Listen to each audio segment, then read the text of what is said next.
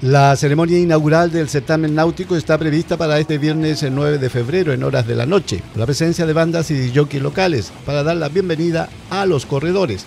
Se correrá en las categorías Open, Grom, DK y Damas.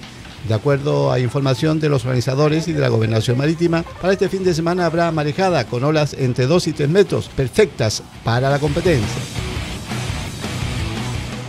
Se espera contar con la presencia de más de 40 corredores entre damas y varones. La competencia propiamente tal se inicia el sábado 10 desde las 9 de la mañana para culminar el día domingo 11.